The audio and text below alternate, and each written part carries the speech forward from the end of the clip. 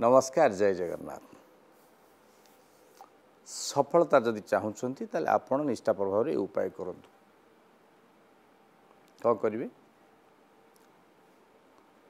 ଶିବ ଚତୁର୍ଦ୍ଦଶୀ ଦିନଠାରୁ ସାତ ଦିନ ପର୍ଯ୍ୟନ୍ତ ରାତି ନଅଟା ପନ୍ଦର ସମୟରେ ପୂର୍ଣ୍ଣ କଳସ ଗଙ୍ଗା ଜଳ ନେଇ ଠିକ୍ ରାତି ନଅଟା ପନ୍ଦର କଥା କହୁଛି ଦେବଦେବ ମହାଦେବଙ୍କୁ ଅର୍ପଣ କରନ୍ତୁ। ଅମାପ ଧନର ଅଧିକାରୀ ହେବେ। ଅମାପ ଶକ୍ତିର ଅଧିକାରୀ ହେବେ। ଓଂ ନମୋ ଶିବାୟ ପଞ୍ଚାକ୍ଷରୀ ମନ୍ତ୍ର ଜପ କରି। ଯଦି ସୁସ୍ଥତା ଚାହୁଁଛନ୍ତି ଓଂ ତ୍ରିୟମ୍ବକଂ ଯଜାମହେ ସୁଗନ୍ଧିଂ ପୃଷ୍ଟିବର୍ଦ୍ଧନମ୍ ଉର୍ବାରୋକ ନିବବନ୍ଦନାତ୍ ମୃତ୍ୟୁମୁଖୀ ହେମା ମୁତାତ୍। ଓଂ ତ୍ରିୟମ୍ବକାୟ ମହାରୌଦ୍ରାୟ ନମ ଶିବାୟ ମହାମୃତ୍ୟୁଞ୍ଜୟ ମନ୍ତ୍ର ଜପ କରିକି କରନ୍ତୁ।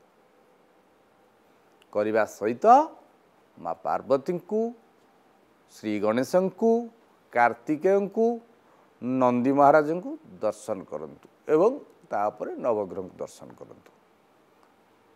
ଶିବ ଚତୁର୍ଦ୍ଦଶୀ ଠାରୁ ସାତ ଦିନ ପର୍ଯ୍ୟନ୍ତ କରନ୍ତୁ। ବର୍ଷରେ ଥରେ କରନ୍ତୁ।